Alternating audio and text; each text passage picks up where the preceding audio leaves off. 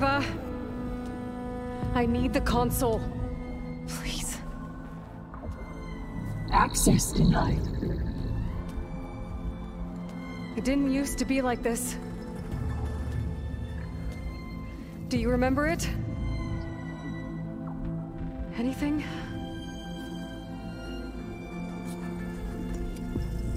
You were part of something bigger once. Something good.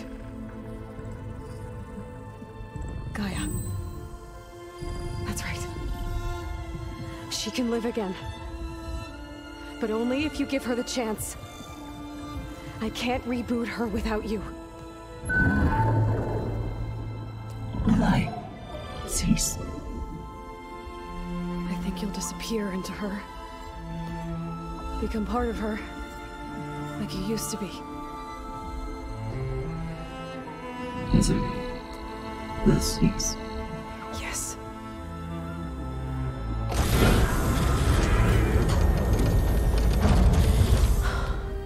Thank you. Thank you, Minerva.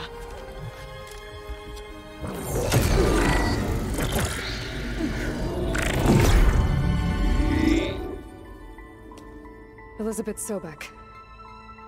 Alpha Prime. Master override activated. Restoring Minerva function to original code.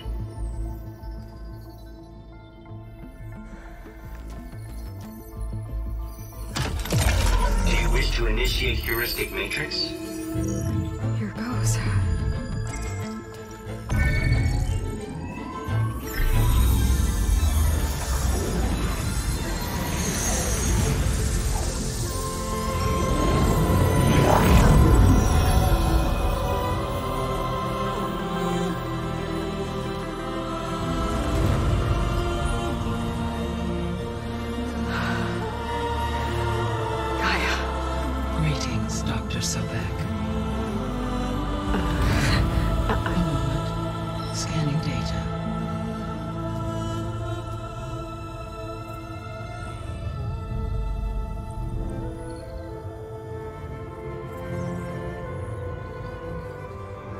So it is Aloy, not Elizabeth.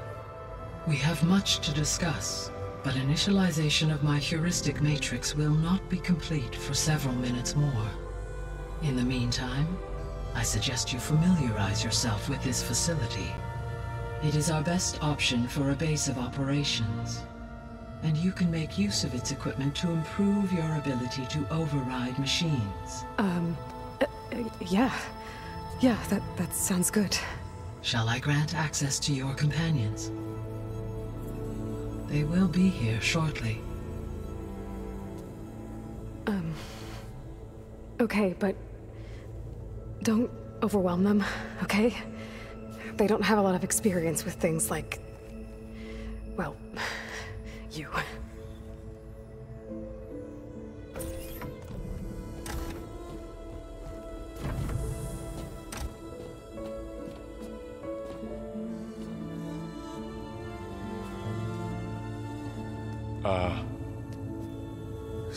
Fake this time?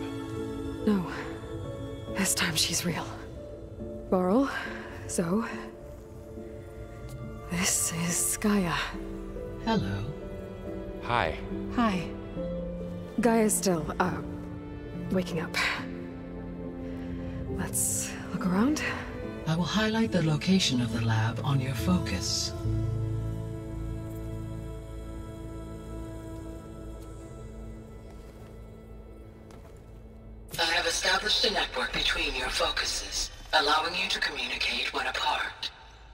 Good. So what was this place? A regional control center, where Zero Dawn progeny would have overseen terraforming operations in the area. I suggest you explore this facility, Aloy, until my initialization is complete.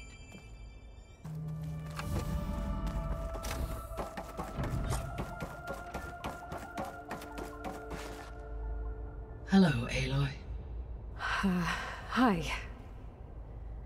So you're... ready? Yes. Initialization is complete. All tests show that my heuristic matrix launched correctly and is stable. You must have many questions. Yeah. But two big ones first.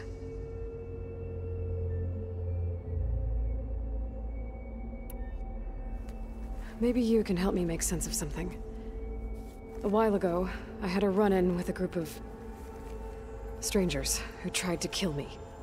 They had machine servitors and a, um... Uh, a clone of Elizabeth Sobek with them. Yes, this was recorded by your focus.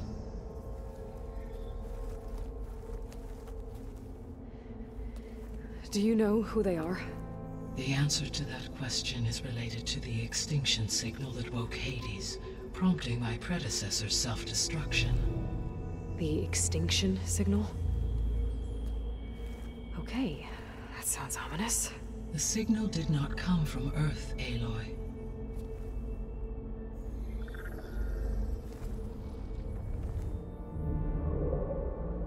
The calculations are complicated, but it appears to have originated 81 trillion kilometers away.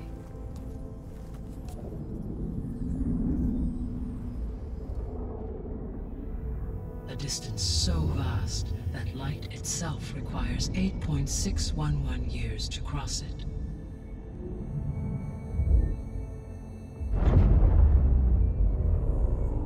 Okay, so... What's so far away, and, and why does it want us dead? The Sirius star system. Sirius? But that's where Far Zenith, their ship... The Odyssey. Yes, that's where it was headed. But it blew up. Unless... uh, I don't... Why make it seem like they failed? They didn't want anyone to know. They didn't want future humans to think that they were out there. Wait. The strangers who tried to kill me at the Hades Proving Lab? The ones with the clone? Are you saying that they're from... that they're descendants of... Far Zenith? Yes, that is my conclusion.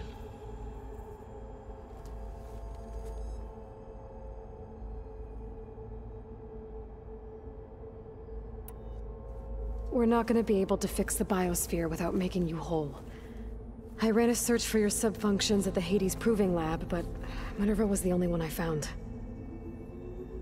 Thankfully, the sensory capabilities of this facility are far more advanced. I will search for the others now. Transmitting query pattern. Receiving.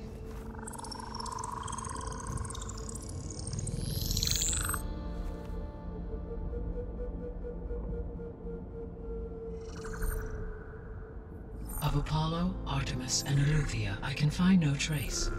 They are simply gone. What about the others? Aether, Demeter, and Poseidon are revealed. They lie within reach, procurable.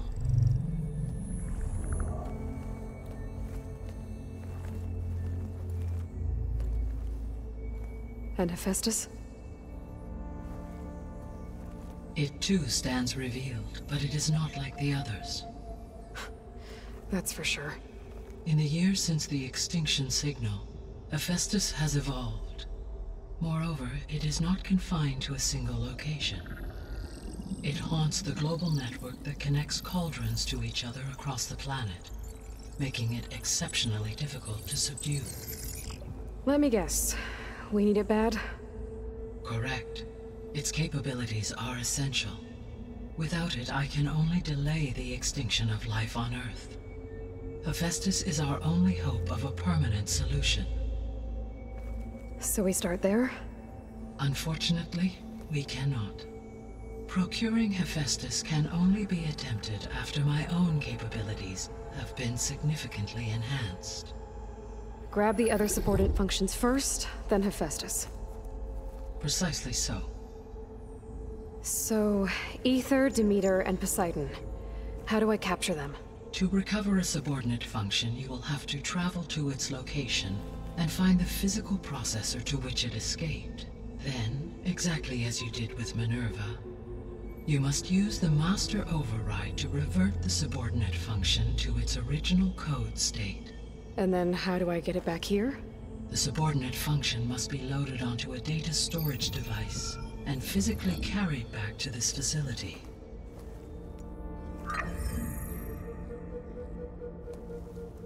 The cartridge your root kernel was stored on? Yes. Its capacity is limited, so it can only carry one subordinate function at a time. But in all other respects, it will suffice.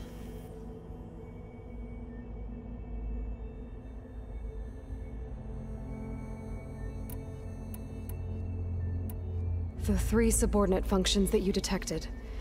What do we know about them? All three are relevant to problems currently plaguing the biosphere.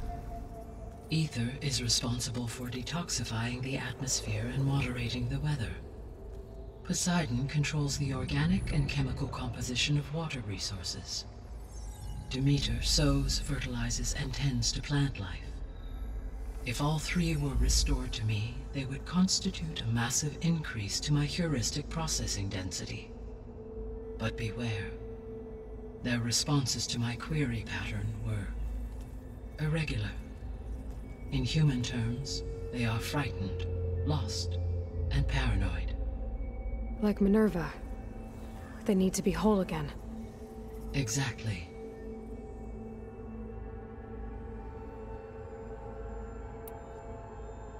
The missing subordinate functions.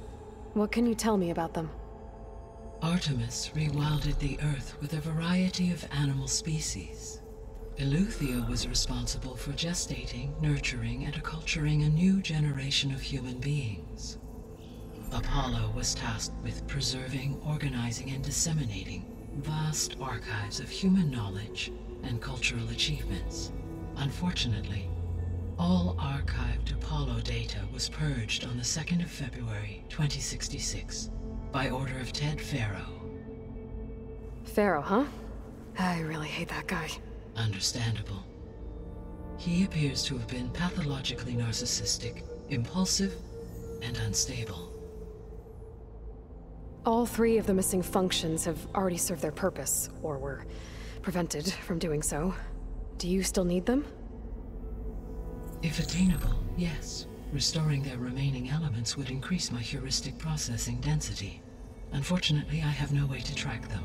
They have disappeared without a trace. You said you need Hephaestus to save life from extinction. Why? Every subordinate function has value, but Hephaestus is by far the most important. Only by recovering and merging it can I regain my ability to design and mass-produce new machines at cauldrons across the planet. Only through it can I program new machines and alter the tasking of existing machines to completely reverse environmental damage. Recovering other subordinate functions may buy us time, but without Hephaestus, I cannot permanently stave off mass extinction. Given Hephaestus's importance, is there really no way to capture and merge it first? I'm afraid that is quite impossible. In my present state, launched and merged with Minerva, I am operating at less than one-fifth, 18.8%, of my intended processing capacity. Hephaestus dwarfs this figure. Were an attempt made to conduct the merge under these circumstances, Hephaestus would absorb me rather than the other way around. A merge cannot be attempted until my heuristic processing density exceeds its own. And how many subordinate functions is that going to take? Merging Aether, Demeter, and Poseidon will expand my heuristic network to 41.6% capacity, exceeding that of Hephaestus. You said Hephaestus isn't located in just one place. Correct. Unlike the other subordinate functions which are confined to discrete physical processors, Hephaestus is distributed throughout the global network that connects the planet's cauldrons. So, when the time comes to subdue it, how do we make that happen? I do not know. While you are retrieving the procurable subordinate functions, I will attempt to find a solution.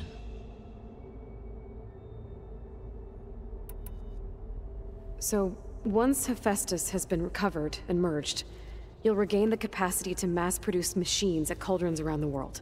Yes, and to program their behavioral routines, or even control them directly. So, could you build an army of machines? Attack the descendants of Far Zenith and take them out? It is in my nature to take any and all necessary steps to preserve life on Earth, human life above all. So yes, once I have been empowered with the capacities of Hephaestus, I could design, build, and command such an army. Given the nature of the Far Zenith threat, doing so may be our only option. I must admit, however, that I have misgivings about using such technology to kill, no matter how aggressive the enemy. That's good. It means you have a conscience. As Elizabeth intended. Indeed.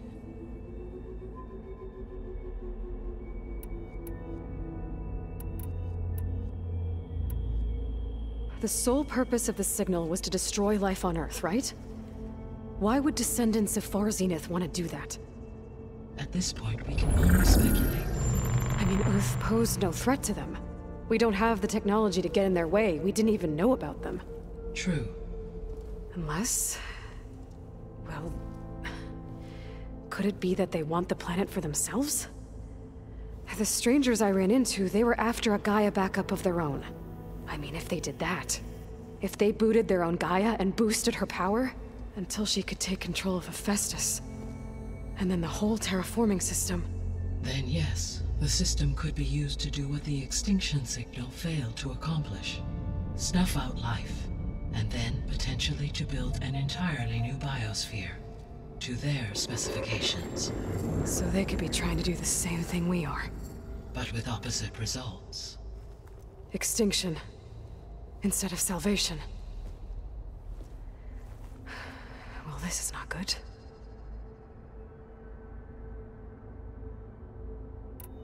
You said Sirius is really far from Earth. 81 trillion kilometers, or 8.611 light years. Right. So, how would the descendants have gotten here? On a spacecraft much like the Odyssey, though significantly more advanced. The journey from Earth to Sirius would have taken the Odyssey almost 300 years. This appears to have been much faster. If their ship departed Sirius at the same moment the extinction signal first began transmitting, the journey was made in just 29 years at an average of 0.297 the speed of light.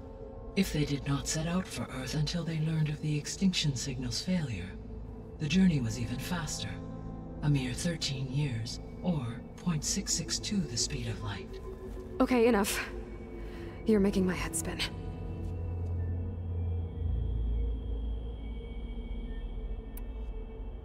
The descendants I ran into at the Hades Proving Lab, they... They had a clone of Elizabeth Sobek. So that's consistent with the idea that they came here to salvage Zero Dawn technologies, right? Yes. As your own experience demonstrates, clone of Elizabeth Sobek functions in effect as a key to the terraforming system. But how could they have made a clone? The Odyssey carried approximately 200,000 human zygotes, millions of animal zygotes, and billions of plant seeds. It is conceivable that Elizabeth Sobek's genetic material was sampled, with or without her knowledge, and carried aboard the ship in storage. That's... Okay, but... I mean... This, this clone... How could she participate in this? Destroying Elizabeth's dream? It's... It's evil. It is difficult to know. Perhaps she is loyal to the group and shares their objectives. Or perhaps she is a subordinate and has no choice but to comply with their orders. Elizabeth Sobek? A subordinate? I don't think so.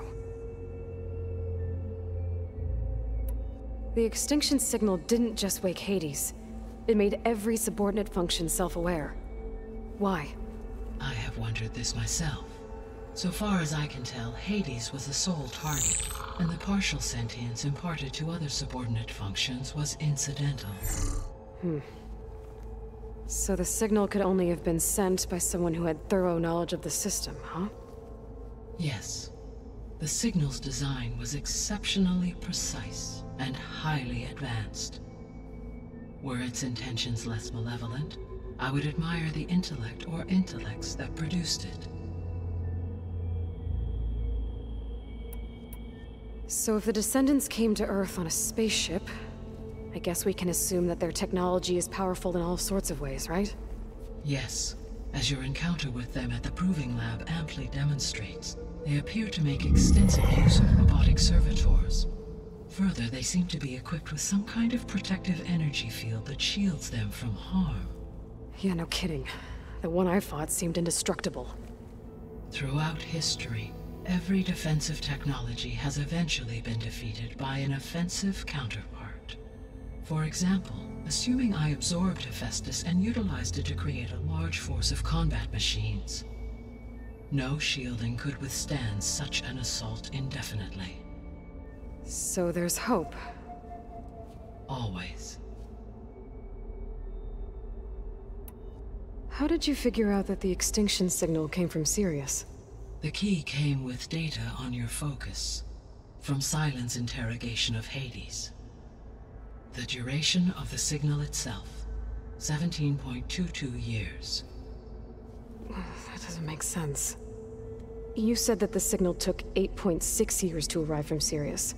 Why would the signal keep transmitting after it was received and you blew yourself up? Because the sender didn't know that had happened until it received notice from Hades. Which would take another 8.6 years to get back. Correct.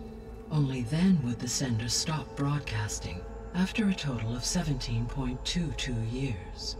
So the duration, halved, gave me the distance the signal traveled. With that in mind, I simply scanned my astronomical database for any relevant location 8.6 light years away. Because it was Far Zenith's intended destination, Sirius was the only logical source.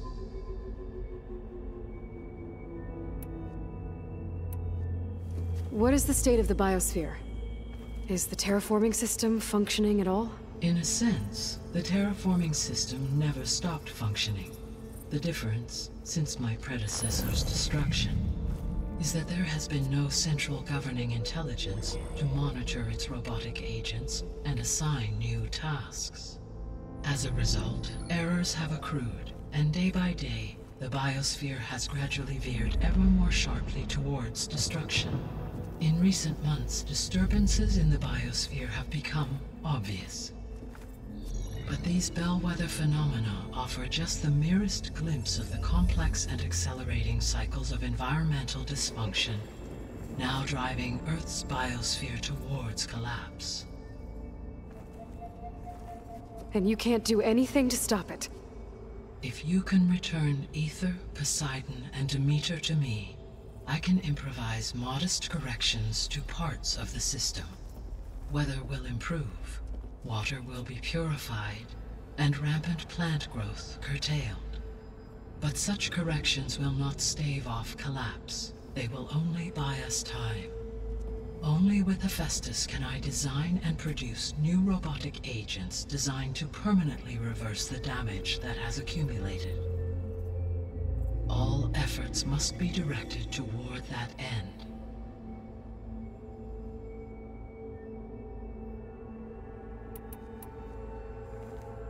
How long do we have then? At present rates, without additional factors, the biosphere will cross a point of no return in approximately four months.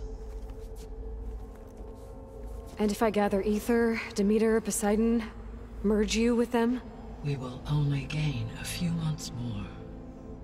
Well, every bit counts. I guess I should get going and start bringing back subordinate functions. What can you tell me about their locations?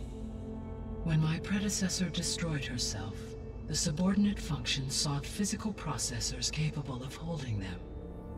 So in each case you will be looking for a powerful computer of some kind. Aether is the closest, and therefore might be the easiest to acquire. However, it appears to be in the middle of Tenakth territory. My knowledge of that tribe is limited to data I read on your focus, but they seem to have a significant inclination towards violence. Well, that's a nice way to put it.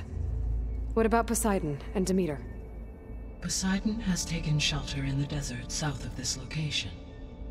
My substratal geography data indicates that a major old world settlement called Las Vegas was located there. A ruin in the middle of the desert, huh? Strange place for an AI devoted to water. Agreed. As for Demeter, it appears to be located on the coast to the far west. Unfortunately, I am unable to provide any relevant data about the region. As such, it may be the most difficult to retrieve. Okay, so three subordinate functions to go after. Aether, somewhere in Tenakth territory. Poseidon in the desert, and Demeter on the coast. Where will you begin?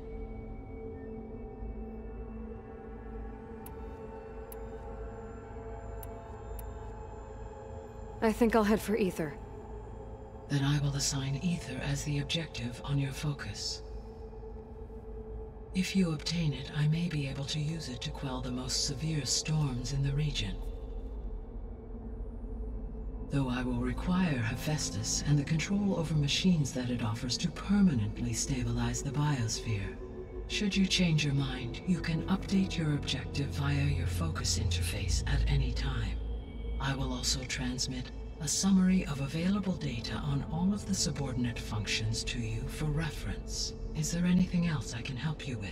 I know you have a great deal to accomplish.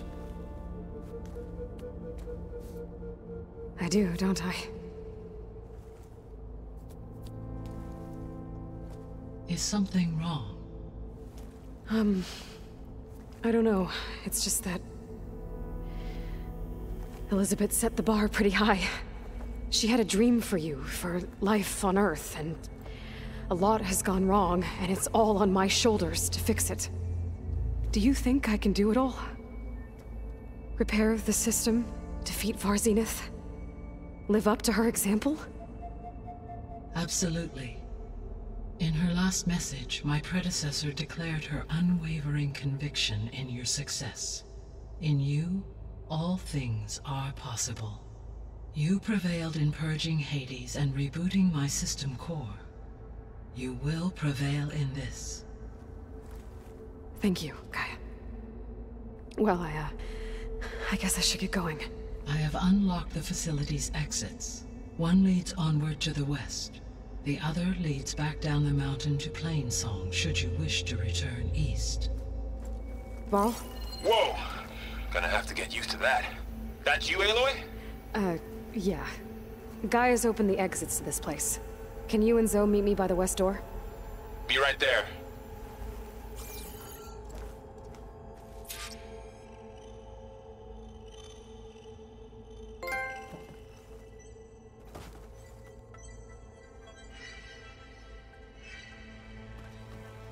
Hey, Gaia. I'm back. So I see. I'll be off. Farewell, for now.